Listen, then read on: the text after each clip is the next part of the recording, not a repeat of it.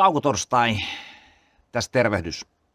Sellainen ajatus tänään pyörittänyt tuota mieltä kuin rutiinit. Että et, niitä joko rakastetaan tai vihataan. Tälleen näin niin kuin hyvin karrikoiden.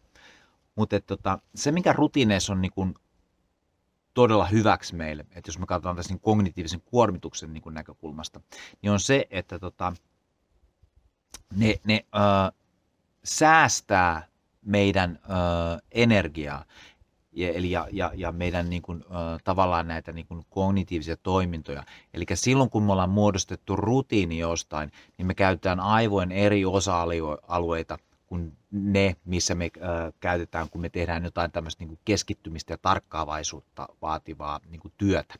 Niin, ö,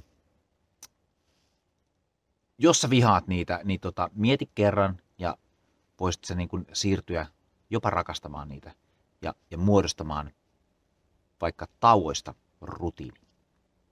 Tauotosta kiittää. Moikka.